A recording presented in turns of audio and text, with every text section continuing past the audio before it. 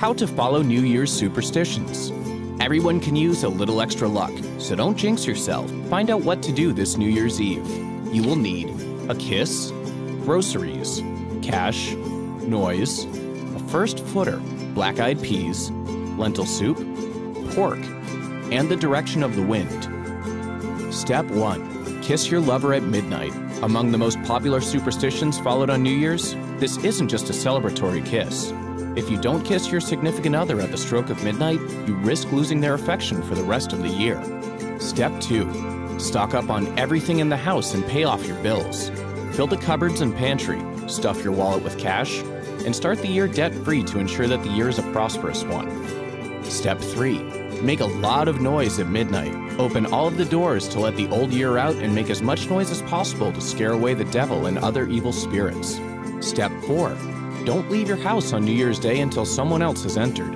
Known as the first footing superstition, you will have good luck if the first person to enter the house doesn't have crossed eyes, flat feet, or a unibrow. It also helps if they're a tall, good looking, dark haired man with gifts including coal, bread, a silver coin, salt, and an evergreen sprig.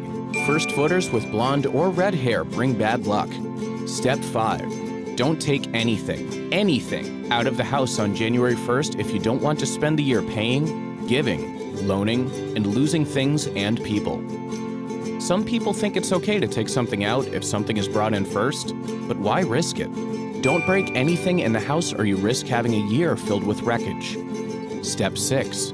Eat black eyed peas on the first of the year to bring good luck and prosperity.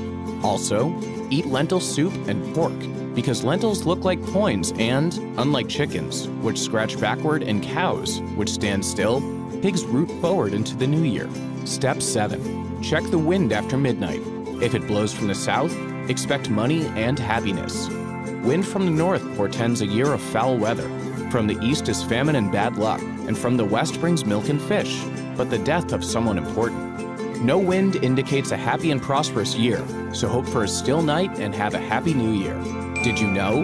The earliest New Year celebrations occurred in Mesopotamia around 2000 BCE.